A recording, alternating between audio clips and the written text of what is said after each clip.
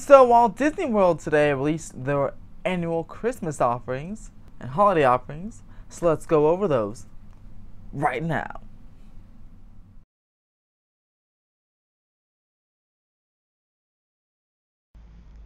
So during this modified holiday experience, Disney World will have a lots of different changes, but lots of the same things. So let's break it all down in this press release or this the Disney Parks blog post that Disney released today.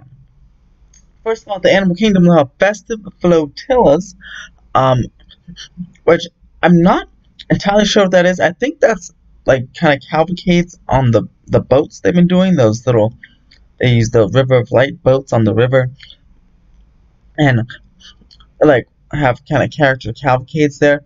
I think that's what that means, but let me know in the comments below. I'm not too much of a Disney World expert, so if that's, uh, especially during the holidays, so let me know what a flotilla is below and if they had one of those before. But, uh, they'll have fe festive flotillas at Animal Kingdom, holiday promenades at Epcot, so probably decorations along the hallways, or the walkways, I assume that is, merry motorcades at D Disney's Hollywood Studios, Christmas character cavalcades Magic Kingdom. They have character cavalcades right now at Magic Kingdom, so they'll just be decked out in Christmas attire. And they'll even have toy soldiers marching down uh, Main Street in the entire Magic Kingdom Park with the Main Street Philharmonic to provide some holiday cheer and some holiday music uh, without drawing any large uh, crowds, of course. Now, this is where things get a little dicey, I guess not a little dicey, but much, much different in my opinion. And I'm not too sure how people take this. I particularly um, hope this is temporary because in the press release they say that um, that some uh, experiences that draw large crowds are obviously on hiatus this year. But they mentioned that with the you no candlelight proce- uh, Epcot candlelight processional and the Very Merry Christmas party, which there won't be any of those, any of those or any, of course, praises here, but the projection effects on the castle. The projection effects on the castle, as you can see in this, the video, this promotional video the Disney Parks uh, blog made for us, the castle will be decked out in like red, gold, and green with the projection mapping.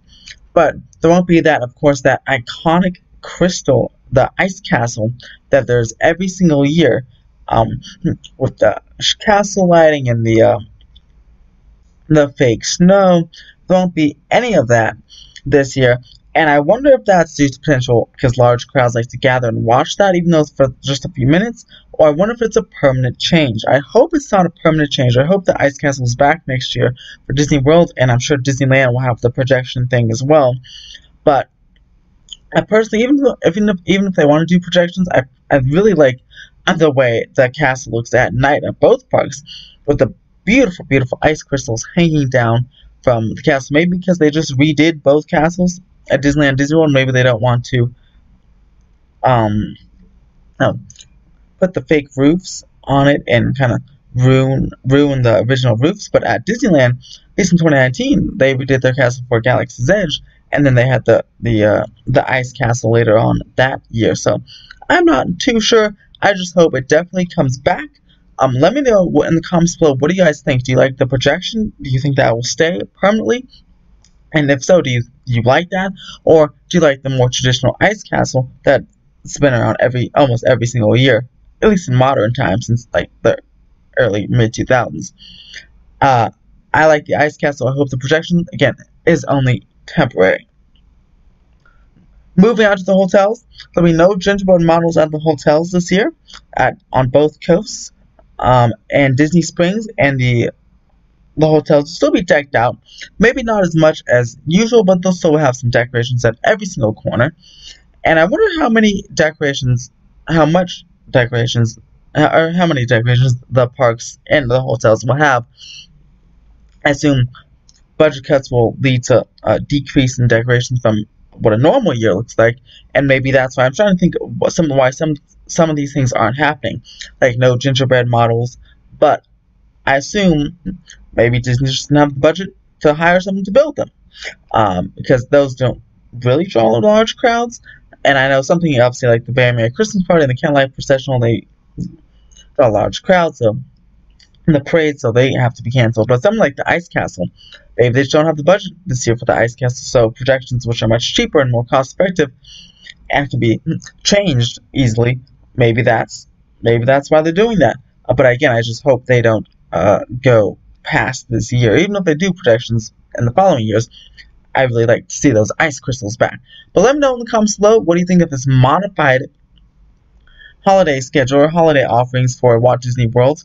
Um, that's that's still a pretty decent amount of stuff they're going here. Even if they with a reduced budget and some mo- modifications, uh, that's a pretty good amount of stuff. But it definitely enough to make you feel in the Christmas and holiday spirit.